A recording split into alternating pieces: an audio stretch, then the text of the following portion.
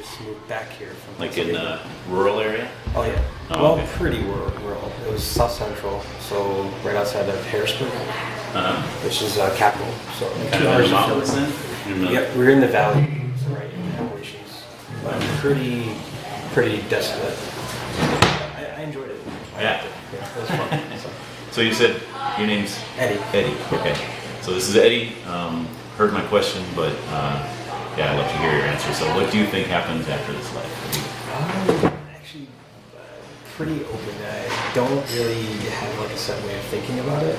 I think that once it happens, um, we'll see.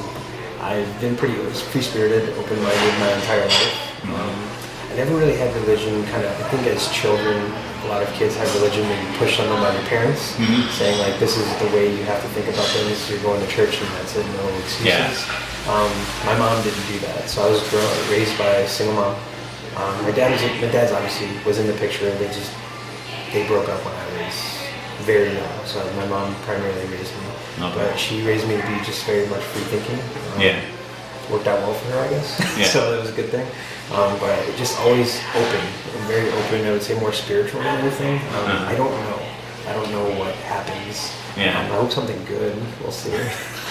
Well, I hope so too. Yeah, yeah. Um, so I'm just curious. Uh, so you said you grew up in? Did you grow up in Hammond? yeah. So I was born in Hammond. Because I'm thinking of the First Baptist Church in Hammond. You Mhm. know, like did that have an, any kind of an impact? Did you have any involvement with that? Or No, so I would say um, I was born in Hammond, I think around eight or nine years old. Um, my mom was just so focused on work. So I Okay. think like religion was kind of set on the back burner a little bit. Um, just a lot of things. We didn't live in the good part of Hammond too. So Yeah. a lot of things happened. Um, my mom worked for the newspaper, so she was very much into like um, the distribution of the newspaper. So she was a circulation manager. So Okay. she was the one that would call you and ask you, do you want your newspaper delivered? She was Yeah. in charge of that team.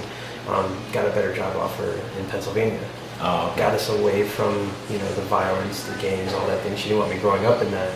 We moved to Pennsylvania, and then um, you know, uh, so I'm, my background's Mexican, Spanish, um, so Catholic. So Okay. we moved to Pennsylvania, um, more focused on it. I would say right around like seventh, eighth, maybe a little bit of beginning of high school. And my mom was like, "Come to church, come to church." Um, Was that because she was going? Yes. Yeah. Okay. So my mom was going. Come with Um, me to church. Exactly. Yeah. Mhm. So it's you know it's my mom. I'm not going to tell her no. Right. I would say like a couple months into it, though, I was like, "Ah, I'm not feeling this As a at all. Like, exactly. Yeah. Yeah. I think I was kind of rebelling a little bit. Wasn't open to it at all, and just kind of said, no, I'm done. I'm not going. And she Yeah. said, okay. So Yeah. she was okay with that. Honestly, never returned back. Um, What, what do you think was uh, the turnoff? I guess. um, for me, honestly, it was. I'd say a bit of. I can say this now, obviously, many years later. Um, a little bit of embarrassment because I wasn't one that I was like a skater kid. I never Uh-huh. dressed up. Oh, okay. My mom was always like, "You have to wear your suit and tie and go." I was Oh. like, ah, "I don't want the very small community. Yeah. Didn't want people like my neighbors or anything like, ah, they don't want to see me dressed up. I don't want to do that. And then I have to sit there and listen to something I don't care about. Why would I do that on a Sunday? You know, I want to sleep in because we Yeah. always go to the first mass. So that was really it. It wasn't. It wasn't so much the religion. It was the, uh, The- dressing the up. and- formality, I guess. Correct. Yeah. And I was. I was never one. I'm always against the grain. I never wanted to dress up like. Yeah. If I go to a job interview, I don't wear a suit. I wear like a sweater and my shirt, but I don't wear a suit. I don't Yeah. like going conforming to. So if you were the president of uh, Ukraine, you'd talk to Congress in a, in a yes. sweatshirt. Yes. Yes. exactly. Exactly. So I think for me it was more that. Um, Mm-hmm. It, I just never revisited it. I think it's just I've always been on the go. Yeah. So like from high school and then to college and then to work, and it's just like never found time for that. Yeah.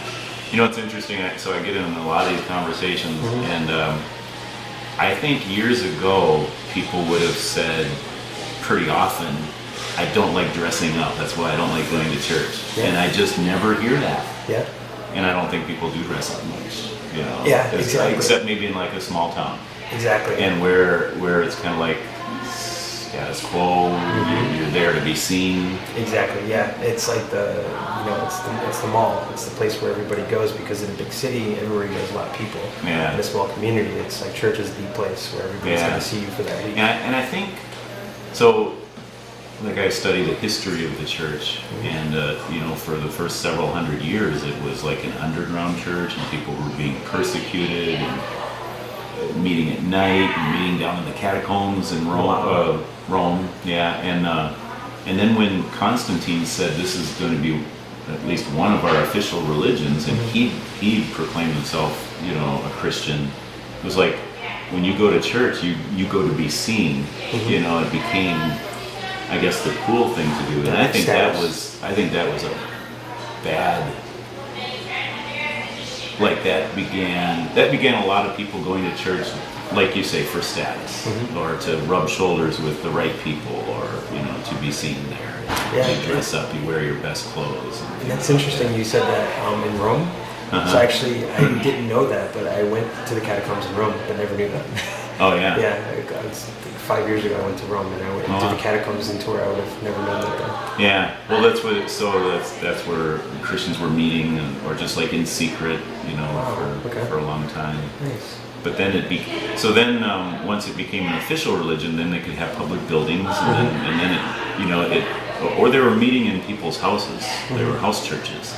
And uh, and so then it became like I say uh, well I, I meet at this church like like the, even the building itself had to look better than the next person's and so go. then then you have even getting into the Middle Ages you've got all those um, cathedrals and you know like in Europe and every town has to have a better cathedral than the, than the next one it's a status symbol Yeah, exactly. and and uh, as a matter of fact, one of the probably so I, I became a Christian when I was 17, and so then you know like graduated from high school and I went to college, took a philosophy course, and one of the um, probably the most impactful uh, books that I've ever read outside the Bible was a book called it's called The Theory of the Leisure Class.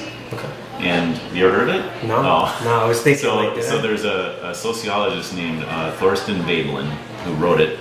And anyway, he came up with the term conspicuous consumption. I don't know if you ever heard that term before. So conspicuous means making it well known that you are a consumer or that you buy expensive things or and then he just chapter after chapter he goes through all the different ways that we kind of validate ourselves by what we wear or you know just throughout history different ways in which people have you know made their importance self-importance i guess known by different status symbols you know and then so he's got a chapter on church you know and made me start to look at church a different way like yeah why do the churches have to spend so much money on this or that you know and Yeah, and it, it's interesting So- you say that too because I've been traveling quite some time, but I feel like every big city I go to, you go let's check out the church. So I just went. I just went to Mexico City um, for Christmas with my fiance, and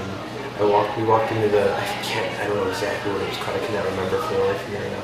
Um, but it's this huge area where it's obviously sacred. You go in there and you see the church, and I was like, oh, like, why is it this big? There's like Yeah. 20 people in here.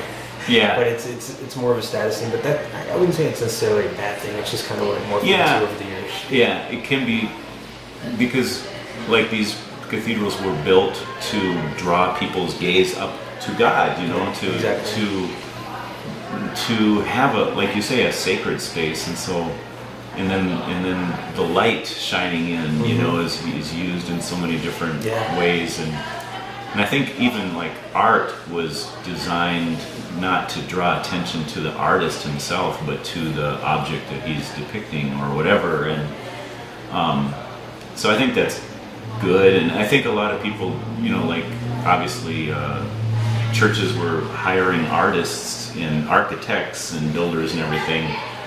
Uh, I mean, I, I can't say everybody was there to glorify God, but you know, I mean, that's a very valid way to spend your career is Yeah. building something beautiful like that. Yeah, absolutely. So, And you know, so it's timeless at that point because it's not. Yeah. it's not going anywhere.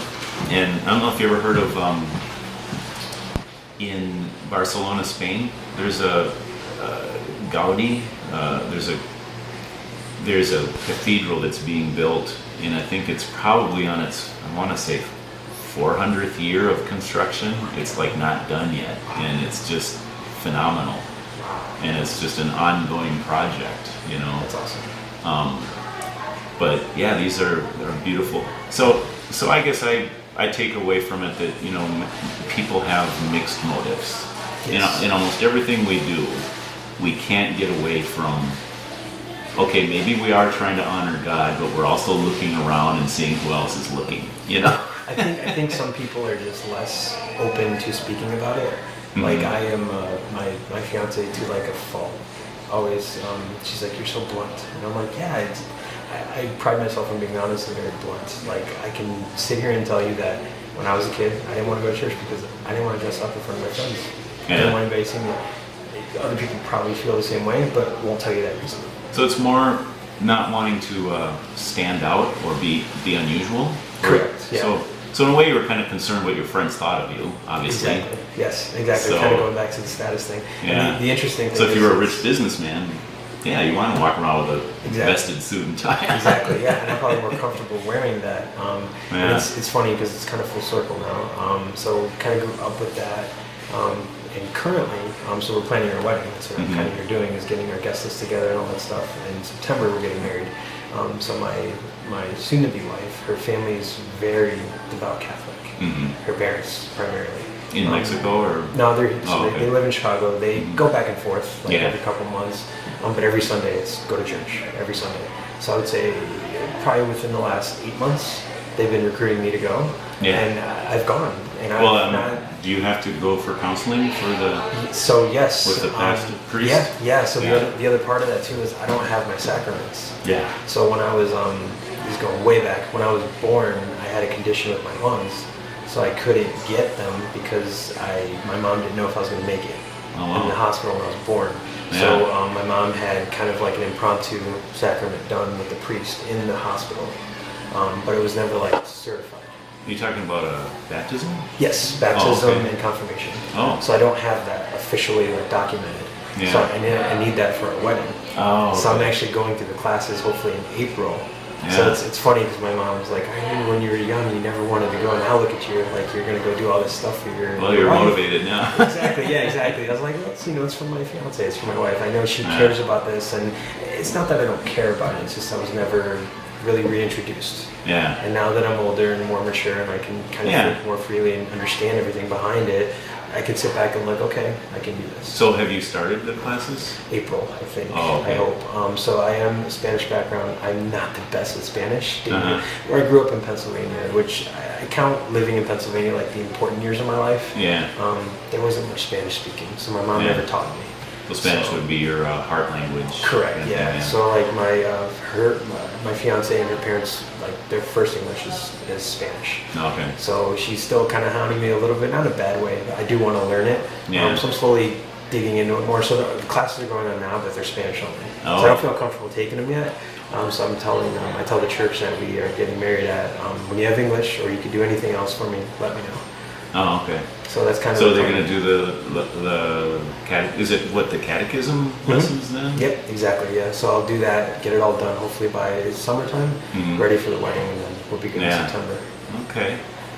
Well, um, do you, do you have a basic belief, like, uh, for example, in God, that God exists, or what? What do you think about that? I would say yes, I do. Um, and the reason for that is I think that everybody needs to kind of have faith in something, Mhm. whether that be God, spirits, spiritual, whatever it may be. Um, my personal belief is yes, there is God, um, Mhm. because uh, sometimes life is too too weird to like not think that something's going on. Yeah. Um, at least in my opinion, I'm Yeah. very big on like, well, this happened when I was 16 and now it's happening when I'm 30. Is it connected? I don't know. So Yeah. I think that that it's it's a way to like put those pieces together without driving yourself a little crazy. Yeah. Um, so I'd say that that's where I go to with it. And as I go, it's, it's interesting to read about it and learn about it, especially being in, in you know church on Sundays now and going with my, Yeah. my fiance and then having her tell me things like getting ready for these classes. Um, it makes sense. I, I do believe it, um, but I'm also open to the idea that if God doesn't exist, what else could be out there? Who Yeah. knows? Who knows? Yeah. But I'm definitely open to it. I love to see um, both sides of it, both sides of any argument. So I have a journalism background. Oh, so my mom worked in the newspaper. Yeah. I grew up in the newsroom, like being on there with everybody. So I went to Okay. college for journalism. Yeah. So I'm very big on like, I like to be fair and consistent. So I'm not kind of going back to pol- politics. I'm not Yeah. Republican or Democrat. I'm right in the middle. Yeah. I want to see both sides. I want to see both sides of the argument and see what's on there.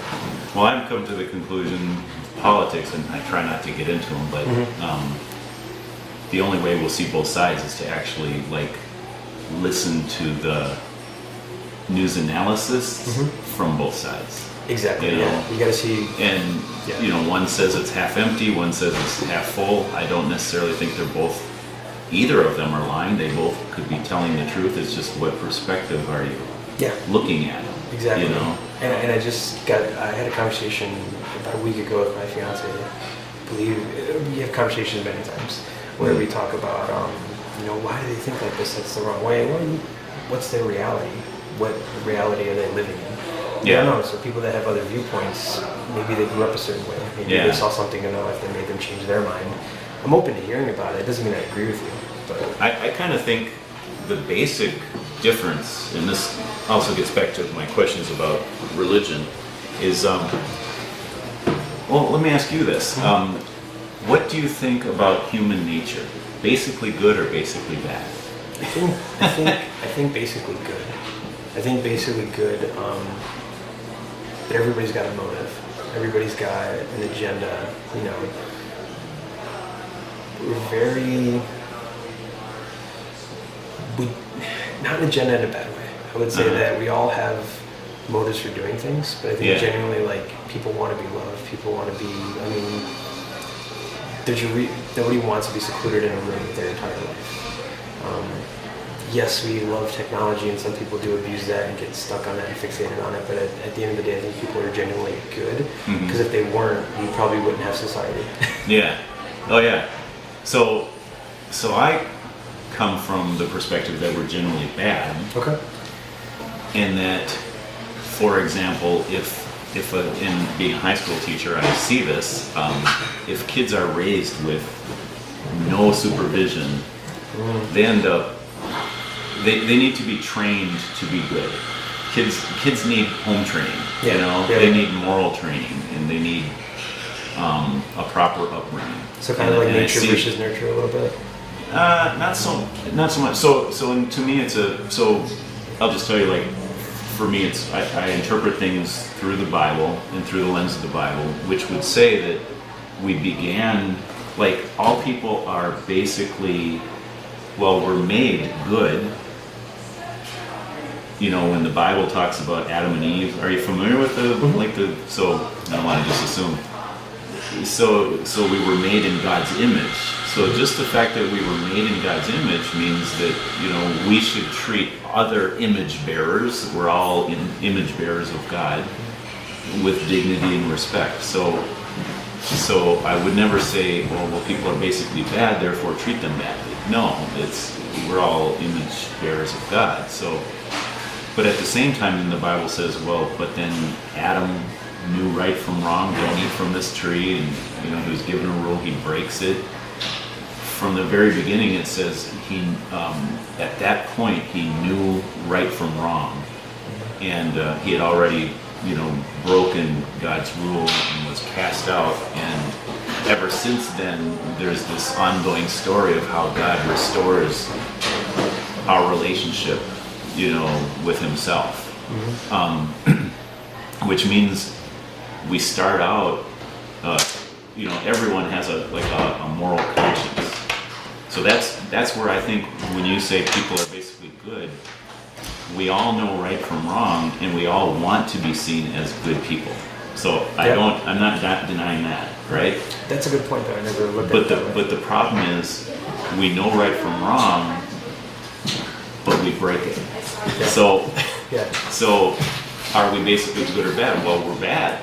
So, knowing right from wrong is a far cry from actually doing right yeah, all the time. Yeah, it's true. And so, so we choose the wrong path, and and that alienates us even further from God. And and so the Christian story is, well, how can we be redeemed or made right with God and have that right relationship? Yeah. And um, so, so I start with the idea that we're basically bad bad, but we know right from wrong. And as I talk with people, I find that everybody, even like atheists that don't believe in God, everyone wants to justify themselves as, well, I'm a good person without God, right? Yeah. So the big line I get from atheists is, well, I don't need the reward of heaven or the punishment of hell to be a good person. I'm just a good person mm-hmm. be- because it's the right thing to do, you know? Yeah. But the, the, the common denominator I see in everybody is we all want to be able to say we're a good person. So like, so like both sides politically even want to be seen as good, you know? They just, their definition of what's good may or may not be based on the Bible or the Ten Commandments or, you know, um, diff- you know, what's the moral code, Yeah. you know? Exactly. and so um, so I so so to me it's important to say it's kind of it's kind of like let's say God says I'm just I'm thinking of you know like if I give someone a present I need to give them what they want not what I think they want or not what I say they should want or not what I want to be able to use once they get it Yeah. like yeah. my wife. So you know what I'm saying? So Yeah, so it's exactly. like if we're going to be good, we have to base it on God's standard, not our own standard. And we need to be able to say, okay, God, even though I don't want to do this, I'm going to do it because you say it's good, or you, you know. And so, so Yeah. that's kind of the perspective I take. Yeah. You know. That makes a lot of sense. That's uh, and it kind of goes back to like the status thing, right? Because I want to be perceived as a good person, whether or not I'm atheist or I believe in this or that. Yeah, I agree. I agree. Yeah. A different perspective I never thought of. Yeah, so like now even in the in the growing secularization of society, it's like okay, well, religion more and more people are becoming non-religious, right? But still, we have that that sense in ourselves. You know, we want meaning in life. What what is meaning in life? Well, I, left the world a better place than when I came. Or basically, they're saying I want to be seen as a good person, or I want I want to do good while I'm left a here. positive impact. And, and it's like, okay, who are, who's judging you? You know, that's going to be there when you leave this life. You know, and so, so then that's why uh, you know, like the whole environmental movement is, you know, like people are um, seeing that as kind of their way of showing how good they are, and let me show on social media all the good things I do to, yeah. you know, Yeah. to, I guess it's called Validate virtual sig- signaling, yeah, exactly. right? Yeah. So, so yeah, we want to be seen as good in that area, or be seen good in the social justice area, or you know, all the different, not you know, it, it's kind of like there's a civil religion, civil, It's like Yeah. it's like a self fulfilling prophecy that they have. To yeah. do. Yeah. And so the thing I see driving all that is that innate sense of a moral conscience. Mm-hmm. But um, are we going to base? So, so it's like the Bible says we, you know. Oh, so so people that argue against a moral conscience will say, well, one person says this is right and one says that's right. Who, you know, that that shows we don't have one. To me, it's more like a moral conscience is the idea that there is a moral right and wrong. We may not know exactly what it is because life does get complicated, but there is an ultimate referee or an ultimate judge that we're accountable to. So, like when I think about, you know, like uh, the decisions I make, am I making them according to my moral standard? Well, my moral standard, I wouldn't have to argue with it if it was mine, mm-hmm. because it would be mine. You know what I'm saying? Yeah, so, yeah. so I'm arguing with something, and I'm trying to justify my actions. What is it I'm arguing with? It's almost like a soccer player arguing with the ref. You know, the ref is yeah. saying, and the soccer player is saying, going back and forth, "Why?" But I, but I, you know, you know, trying to give excuses why he he should be let off, you know, or whatever, from getting a penalty or whatever. So, Yeah. so there is, to me, that's, and that's actually called the moral argument for God. You know, like if there's laws or morals, there's a lawgiver or a moral giver. Mm-hmm. You know, who who made those? Yeah. So, That makes a lot of sense. yeah. So, how do you think you would do according to what you know of that biblical sense of morality? It's not like you read the Bible all the time, but from what you know so far, what you've gathered, if the Bible says, you know, that God is our ultimate judge, there's a judgment day, and our relationship with Him going into eternity is based on that reward or punishment, heaven or hell. How do you think you would do? Um, I would hope reward. Yeah. Um, I would think well, and I, I say that because I'm very calculated, um, and I'm very again open to like many every decision. Mhm. I am super analytical with myself, um, almost in daily life. Again, kind of like to a fault. Um, a lot of people say, "Why do you analyze every situation, everything you do, and every decision you make?" I, I'd like to make sure that I make I take the best, make the best decision. Yeah. Um, to your point about like the gift, like I, I believe I'm very selfless in the sense that yes, and um, kind of quick backstory, funny thing. Like when you said that, that triggered me a little bit, not in a bad way. I remember when I was a kid, um, my sister's boyfriend at the time, um, we had like a bi-level. So I, my mom and I lived in the bottom level, and my sister and her boyfriend lived on the top level, in a two-flat house. And her boyfriend bought me a PlayStation for Christmas. And I remember to this day, I can like- see this coming. yeah, and I was like, how did he buy me this? Yeah. Didn't know that. Well, at the time, you know, I'm a kid. I'm just happy that he had kids, Yeah. and Oh, it was oh. like a two four. I was thinking he would be the one to play. Exactly. Yeah, but Right. it was it was his kids who were my age. Like, oh, I could if I buy this, I make my girlfriend happy, but I also take care of my kids. Yeah. Now they're just gonna be downstairs playing. Yeah. And that's what it turned into. So I, I always remember that as I was Mixed growing up. again. Exactly. Yes. Exactly. so I, I always think of that like as I get older and grow up and get out of that, like I, I never want to do that. I want to make sure that like when I get somebody is for them and very selfless. And I, I do that with my fiance. I try to be very thoughtful on what I get her and Yeah. no, this is not for me. This is I, I'm, I'm never going to use it. This is for you. Is something you wanted. So I would say I think I would do well. Yeah. So, um, let me tell. Let me give you a little good person test, and we'll see how Mm-hmm. Sure. you would do. Sure. So, you know the Bible says, "You shall not lie." Mhm. Right? Have you ever told a lie? Yeah. You'd be lying if you said you didn't. Correct. Yeah. How many lies do you think you told? More than I can count on my. my Okay, fingers, so. God, okay, so the Bible depicts God as the creator and has all wisdom, all knowledge, with no effort at all. So it's not like God is like this calculating little Mm-hmm. traffic cop who's got to keep track and work hard and work up a sweat to keep track of us. God can look at us and, and know everything about us. So he would know about all those lies. Mm-hmm. See what I'm saying? I don't want to depict God as like being like nitpicky, but it's like it's like if we were to look at a person and see all that truth with no effort, you know, we're not being nitpicky, we're just seeing what is. Yeah. If that makes sense. Mm-hmm. So would what would you be called? Standing before God on judgment day, what what would what would that make you? Mm, in that context, I would say, obviously, probably punishment. It would be a punishment, yeah, based on the fact that you're a liar, Yeah. right? Yeah. Now, I'm not saying a habitual course, liar, but of course, yeah. so, and, and and this whole thing is, you know, like I, it won't take very long. Just No, ask it's- you about a couple commandments. It's it's it's it's um, it's something to get us to judge ourselves because the Bible actually says the law or the Ten Commandments is a is like a mirror Mm-hmm. to so like we need a standard. So when we think, "Am I a good person?" We're comparing ourselves to other people we know Mm-hmm. compared to them, I'm pretty one, I'm one of the good guys, right? You know, or or not, you know. Yeah. Um, so, have you ever stolen anything? No. Okay. Ne- never took credit for anything that wasn't that you did that belonged to someone Not else. that I can remember. No, I honestly have not. Okay.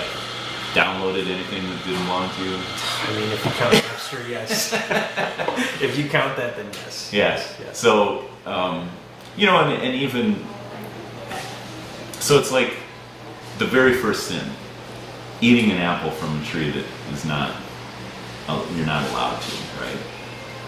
Okay, that doesn't seem like the sin that all mankind should stumble over and that should, you know, like doom us for eternity. But yet, there was something about it that, you know, like we'd have to say, okay, well then, if that, not that, then what? You know, Mhm. like basically God said, don't do it, and they did it, right? So we have this moral conscience in us that says we Mhm. shouldn't take things that aren't ours or, you know, take shortcuts like that. So, who am I? Who would I be to stand before God on Judgment Day and say, "Well, God, yeah, but everyone else was doing it," yeah, or yeah. so. So we can't. So just technically speaking, I guess we're saying you'd be guilty of Yeah. of that. Of course, know? yeah. A liar and a thief, Yeah. right? Um, have you ever used God's name disrespectfully? Yeah. Yeah.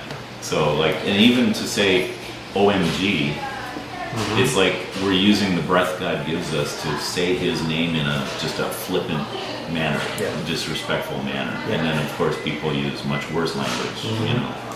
You ever? Um, hopefully you've never killed anyone. No.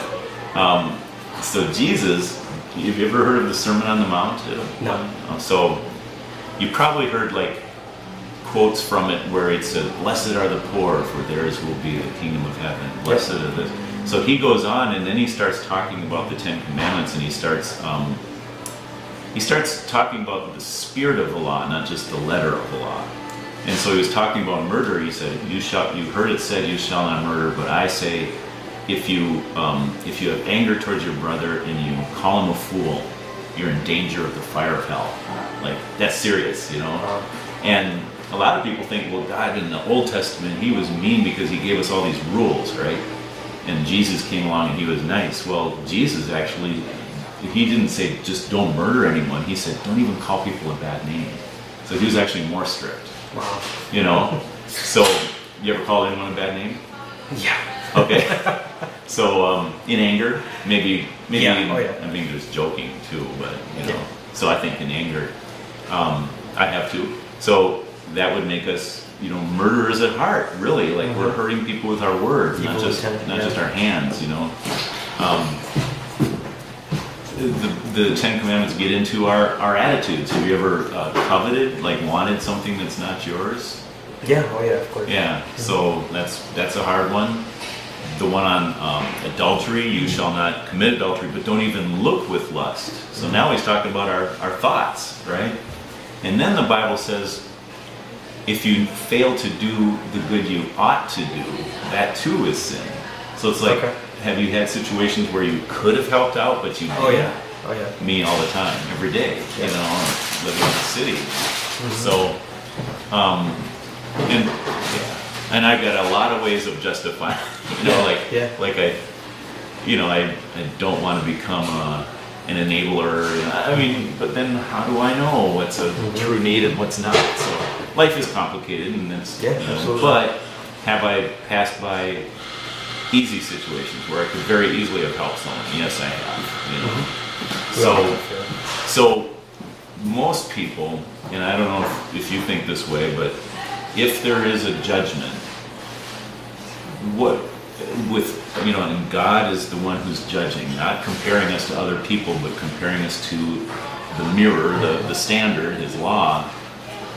We hope that somehow our good will outweigh our bad. Mhm. So I've done a lot of good things, you know, and so the problem with that is, um, I don't know if you're in any kind of finance area of work. A bit, yeah. Well, I mean- I don't work in finance, but I'm interested in how it works. I mean, just the whole idea that you know, like uh, your your debits and your credits have to balance out. Yep. Well, well, we hope that our good will outweigh our bad. The problem is our good doesn't weigh anything Mhm. because we ought to do it anyway. Mhm. You know, like if if a little old lady fell here and you helped her up, I don't know you, but I'm pretty sure you would not say, "Well, look at me, what a great person I am." Yes. You would say, "I'm just, you know, I, I could help her up, and I did, and that's the right thing to do." You know, mm-hmm. so we don't get credit for the good things that we ought to do anyway. Yeah. But the problem is, the bad things we ought not to do, and we do them. And so, how are we going to pay for the bad things we've done with the good things we ought to do? Well, we can't because Yeah. we ought to do them. So then we're stuck with the bad things. And that's where, on a judgment day, we couldn't stand before God and say, I'm innocent Yeah. or my good outweighed my bad. No, it didn't.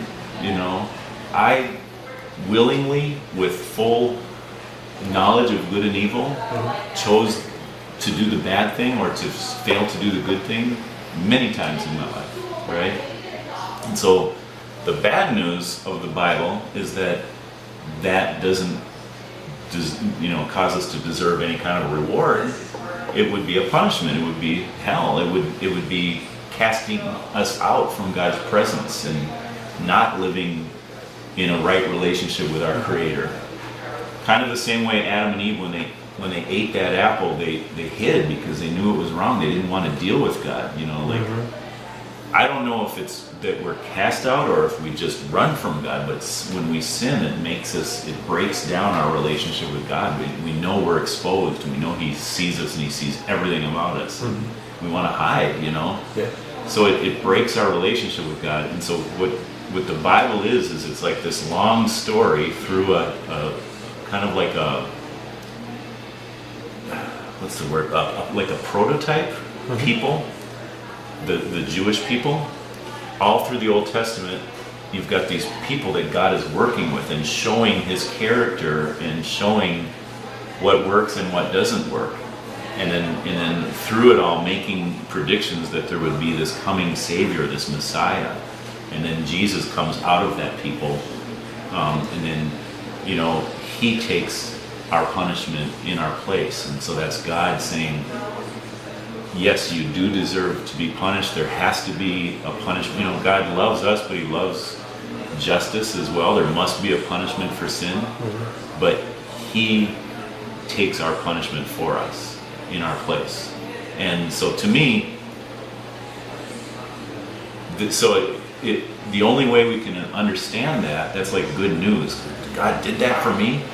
But the only way I could accept that was to say, because I deserve that punishment myself. Like it's like the good news only makes sense with that bad news. Yeah, understanding knowing that bad news. there, yeah. And so I had some people when I was in my late teens, you know, explain to me that you know what sin is. They did it in a nice way, but I realized, yeah, I'm a sinner, and I Yeah. don't deserve God's favor or anything. You know, I deserve to be punished, which the world would reject as you know that's negative. That's you know. Yeah. Especially Um, in the current climate. Oh yeah, and uh, and no one wants to admit that, and so it's kind of like our human nature is to say, no, I, I think I'll go to heaven because I deserve to go, you know, and I look at all the things I did, and Do you think that's the reason why people are now becoming more non-religious? Is because they don't want to accept Um, the truth of what could be there? I think I think uh, religion in general and Christianity has a lot of baggage that's built up over the years. So it's always been Satan's.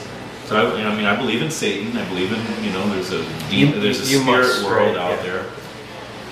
From the very beginning, he was a liar and a deceiver, and he constantly criticized things of God. So God said, Don't eat from that tree, and Satan twisted around and said, Did he really say you would die if you ate from that? No, you won't, you know, and so he, he deceived them. And so people are, people, um, what I was saying, there's so much baggage with, you know, obviously, uh, like I was saying with, with Rome, um, a lot of people that began to go to those public churches weren't even weren't Christians, and a lot of things have been done in the name of Christ that um, Christ wouldn't have.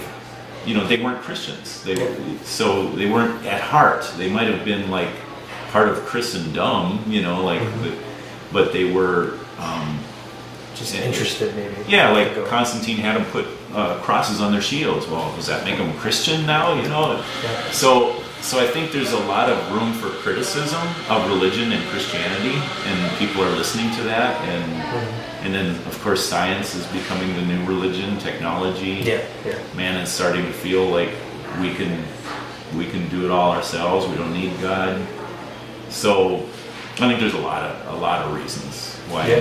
Religion is becoming less, you know, important. But human nature doesn't change, and we all want to be able to somehow justify our existence and say that I'm a good person. Yeah, absolutely. We just we just want to reserve the right to choose the standard by which we say we're a good person. Yeah, And exactly. that's, you know, I don't, as a Christian, I don't have the right to make that standard. I have to say, okay, what does the Bible say? It's like, it's like, um, if the if the Bible is a mirror and I look in the mirror and I see myself and I see all the warts all, all over my face and you know the dirt on on me and all the bad things, I have to say, okay, I guess that's true, you Yeah. know. Yeah. We can't choose our own filter and say I want to look in a mirror that doesn't show me those things. Exactly. Yeah. So so um, yeah, people want to reserve the right to choose the mirror they look into. Maybe put it that way. At, at some point, though, you need to face the truth and see what's.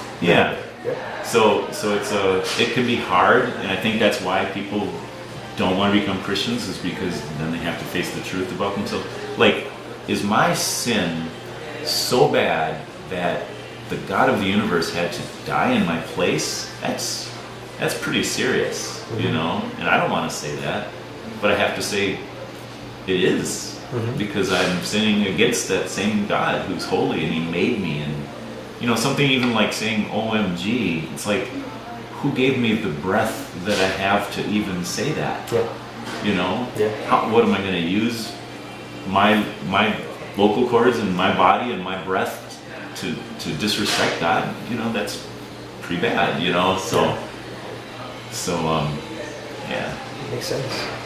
So I don't know, like you say that you're open to different perspectives. So that's a, I don't know if that's something perspective you've heard Yeah. before. I, I haven't. No, it's it's interesting. I think um, definitely opened my eyes a little bit more to it, and it uh, made me a little bit more excited to go into my Yeah, classes class. and my experience, and I'm not going to go into the next. What, now, are you months. so so as a Catholic? So I'm not Catholic. Mhm. Um, are you aware of you know? So I'm Protestant, right? So are you I'm aware not. of what what is Catholic? What is Protestant? Not exactly. No. So real quickly, and I don't know how much time you have. I, I actually have to get going myself, Yeah. but real quickly, you've heard of Martin Luther, Mhm. not Martin Luther King. yes. Yeah. So the original Martin Luther, so he was a Catholic priest. This was at a time when the priests, you know, there was a priest in every little church in Europe, and they pretty much one Bible in that church. Like they didn't have the printing press yet. The Bible was written in Latin and Greek, um, in Hebrew, I guess. No, no, Latin. It would have been in Latin there. Um, but uh, but the common people didn't read the Bible for themselves. They had to depend on the priest to interpret it for them and to preach to them. And so a lot of it it, it, it gave people weren't priests weren't held and the church wasn't held really accountable for its teachings. And so a lot of church teachings and traditions sprung up over the hundreds of years that weren't based on the Bible. And so Luther read it for himself, said, you know, and one of the biggest um, traditions was what's called indulgences, which number one, they taught that people would go not to hell, heaven or hell when they died, but to purgatory, which isn't in the Bible. They try to justify it by twisting some passages, I feel. But um, but then if your relatives are in this horrible place called purgatory, well then you better pay some what's called indulgences to get them out. Gotcha. And so it became a money making scheme Ah, for the church, and that's how they funded St. Peter's uh, Cathedral in Rome. Um, so he protested against that and other church traditions and teachings. He had uh, 95 theses, I guess that would be statements that of protest. And so he nailed this list of 95 theses on the door in at the church, which was like a place of public debate, I guess, Yeah. for everyone to see. So he made it known, and, and he was defrocked as a priest and you know persecuted and that sort of thing. So he became known as a pro- Protestant protester, right? Ah, okay. And so then uh, other, you know, like, so then he basic, and then he uh, interpreted the Bible into German, the common language, and this was about the same time as the just the uh, invention of the printing press, and so what you would appreciate being Yeah, a newsman, um, which. Uh, so then they started printing the, the first book that ever was ever printed was a Bible, and they started printing all sorts of pamphlets and teachings, and so people began to read the Bible for themselves, and so this tradition grew up of let's read the Bible. So, so to me, the biggest um, difference between Catholic and Protestant is Catholics would say our church teachings um, and traditions that's where you start and then you read the bible. And we would say, no, the Bible is the first authority, and the traditions and church teachings, let me judge them according to what the Bible says. And so, because I can read it for myself. And uh, so, like, for example, I wouldn't call anyone the you know jesus said don't call anyone father because there's only one father your father in heaven you know? So am i going to call a priest father? You know i mean just little things like that Yeah, you know?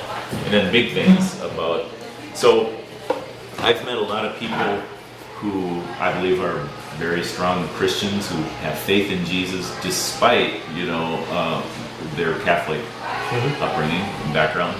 And uh, and then uh, you know it's still it's a personal relationship with with god. So i've met a lot of people who have a really strong bible background who just don't put it into practice they don't they don't live it out so they're like hypocrites you know Yeah, yeah. so it works both ways you know Yeah, it doesn't absolutely. doesn't mean you're you are or you're not a christian if you're protestant or catholic it's still a personal relationship that you have with god it's just um, I look at the Bible as God's truth, and that's my standard of reference, you know. So If you may, if I may, I'm just curious. Do you believe that, like you say, like a personal relationship, obviously with God? Do you believe that one must go to church?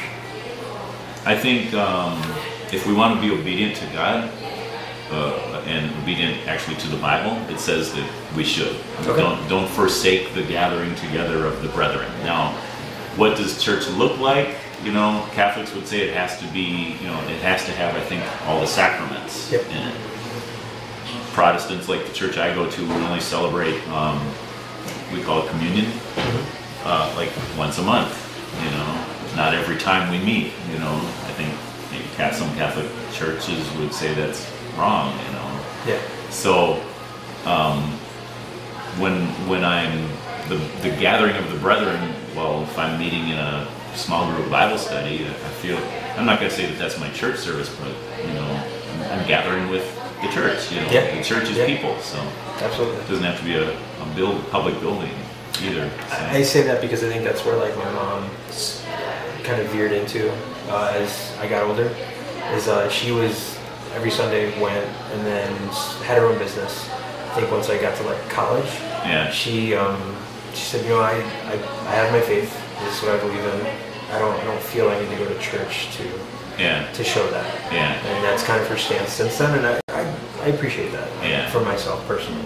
I, I find, I think in the, the same place where it says don't neglect meeting together, pretty sure it's the same book in the Bible. It talks about like people drifting from their faith. And so going to church doesn't make us a Christian, but it can help us keep from drifting.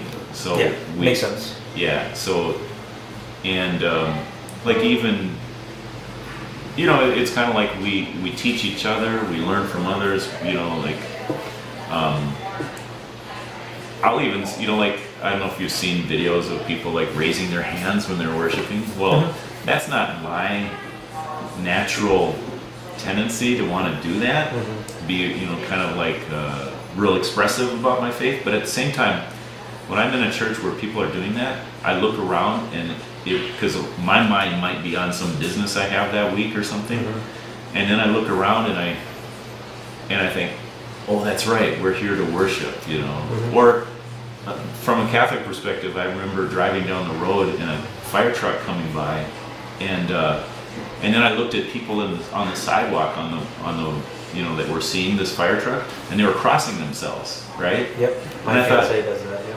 why don't I be praying? You know, like this is an emergency. Pray for the first responders and pray for whoever they're going to see. You know, I should be praying. So I think we're we benefit. We definitely benefit from being around other faithful people. you Yeah, know, yeah. and So I, I kind of look at it like what comes to mind is like like the gym. Um, like I, I know people where uh, you know I'm fit, I stay fit, but I'm more involved when I go to a gym and Yeah. around the, com- the community. oh, it's so easy to just sit there and Yeah, you know, yeah. And then you look around. Oh, they're working hard. Oh, that's right. I need to be. Exactly, yeah, yeah. So I, I think it's helpful. It's very helpful. Yeah, And it's, agreed. God, God, the, the Bible says to do that for a reason. You know? yeah, makes sense. So it's a good question though. Good, Yeah. cool. So I'm gonna turn this off because I gotta get going. Yeah, Uh, same. Likewise. Yeah, yeah. she probably just got done. All right. She'll be calling in a minute. What? So what is she?